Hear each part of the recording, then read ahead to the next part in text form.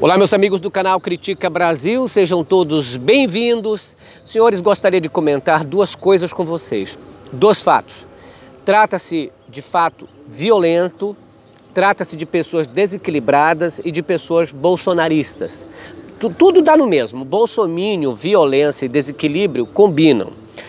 É, Gilberto Alves Júnior, homem que foi preso após xingar o deputado José Guimarães do PT do Ceará, é de Santa Catarina e gerencia uma pousada em Taguatinga, lá em Brasília, que fez descontos para a posse de Jair Bolsonaro.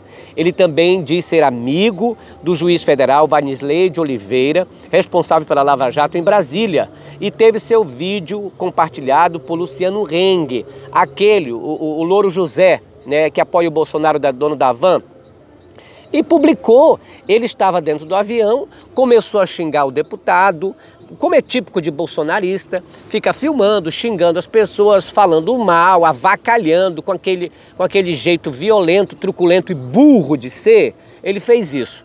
Aí, quando desceu não é, do avião, foi preso, foi conduzido pela Polícia Federal para prestar esclarecimentos e chorou.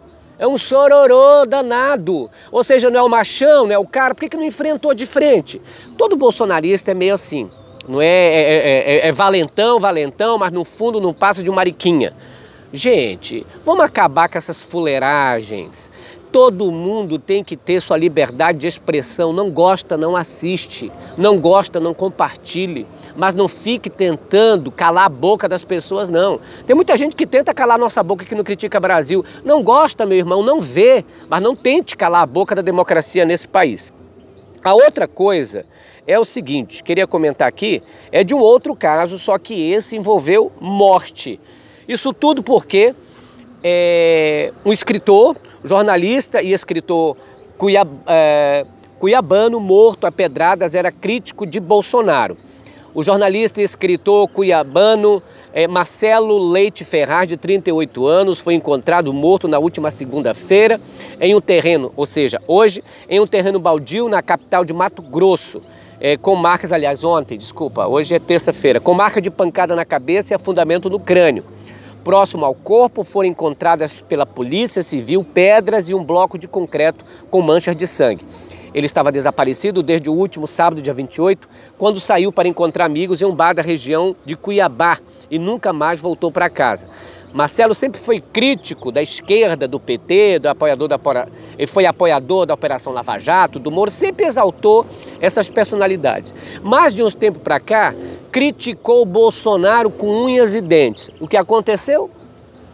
Foi morto e dizem as testemunhas do, do, de tudo que acontecia com este escritor, que ele tinha também é, seguidores é, em, um, uma rede social que criticava direto o Bolsonaro e por conta disso teria morrido.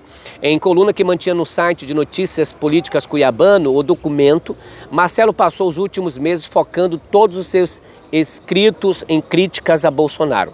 Seu último artigo data do dia 4 do mês passado. O título é Bolsonaro, o Coringa Brasileiro. É, e aí aconteceu isso. É, gente, são fatos que a gente não deve se calar. A turma do Bolsonaro anda por aí espalhando terror, espalhando ódio e morte.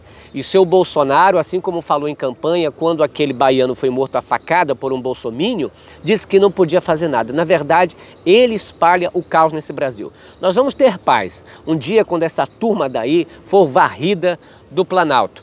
Critica Brasil falando a verdade, doa em quem doer. É, e outra coisa, só para terminar, o livro de Rodrigo Janot, lançado, prova mais uma vez que Lula era realmente perseguido. E a defesa de Lula vai usar o livro de Rodrigo Janot, que era procurador-geral da República, que disse que ia matar o Gilmar, para provar a perseguição feita ao ex-presidente Lula. A gente volta amanhã. Beijo para todos vocês. Tchau, pessoal.